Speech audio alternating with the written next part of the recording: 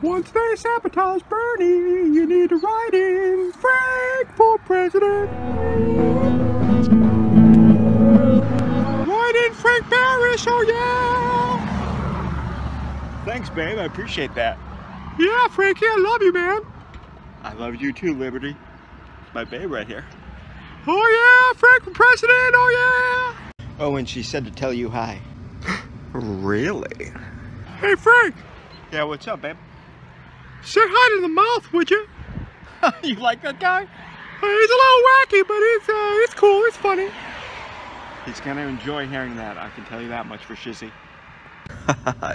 nice. She's hot. I know, right? Uh, what about me? Did Lady Liberty ask about me? Kind of. All right, well, I'll see you later. Oh, hey, Frank, one more thing. Yeah, what is it, babe? Is that guy really from outer space? Oh, you're talking about my alien friend? well, uh, he says so.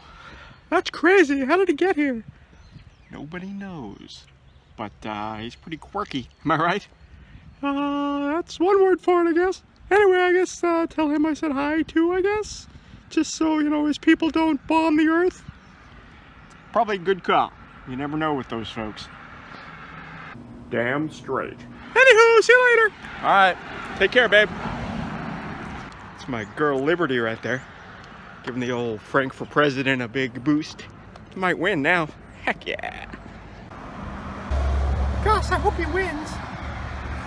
I mean, America's got a tough choice. It's either me or I moved on her like a bitch, but I couldn't get there. And she was married.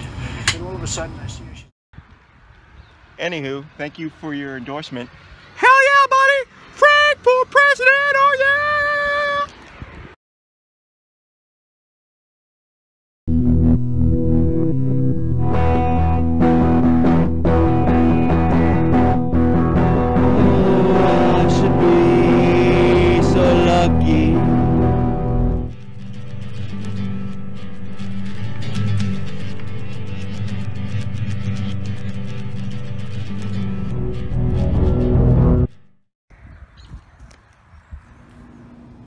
You know it, yo.